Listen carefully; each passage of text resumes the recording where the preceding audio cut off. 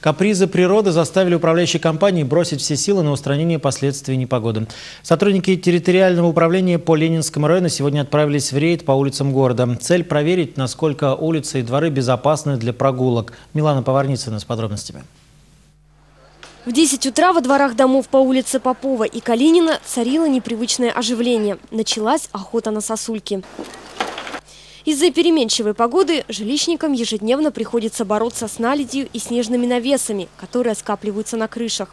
Зарубежные соседи давно их срезают лазером и горячим паром. У нас же по-прежнему борются, что называется, дедовским способом – с помощью топора и лома.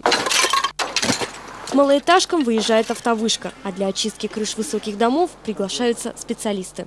Там уже на веревках скалолазы. Это пятиэтажки только достает вышка. А там уже на веревках висят и чистят. У нас энтузиасты в ЖК работают. Масштабные рейды по проверке уборки придомовых территорий и снежных наледей начались недавно. Все сосульки и снежные навесы должны быть своевременно убраны, а подходы к подъездам и тротуары во дворах обязательно посыпаны противогололедной смесью. Таковы требования, которые выдвигает жилищная инспекция управляющим компаниям. Но пока на многих улицах рядом с очищенными крышами соседствуют ледяные глыбы. Изначально обращается внимание на то, где сосулька представляет непосредственную опасность, то есть могут принести вред, ущерб здоровью. В первую очередь со двора, либо там, где не над тротуаром. Это в первую очередь должно, потому что домов очень много, и обслуживающие организации просто физически не в состоянии э, отреагировать в один день в одночасье. Работа будет вестись до тех пор, пока не отреагируют все обслуживающие организации. В Ленинском районе сотрудники-энтузиасты развернули активную борьбу со снегом и наледью. В администрации предупреждают, по закону за неуборку сосулек виновников ждут штрафы.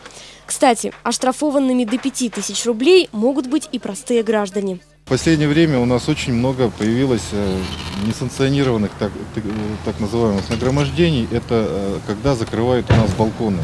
И сверху, особенно это касается пятых этажей, там появляется своя кровля. И вот с этой кровли у нас часто э, сосульки, снег, наледь падает на тротуары. И хотелось бы э, предупредить, э, предостеречь жителей нашего города о том, что чтобы они, как собственники своих помещений, в том числе и балконов, следили в том числе и за состоянием кровли над своими балконами.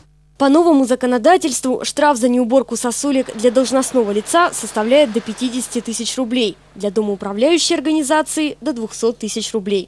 Напомню, что ответственность за несбитые сосульки, как и упавшая на человека, несет управляющая компания. Милана Поварницына, Игорь Охотников, Вести, Кировская область.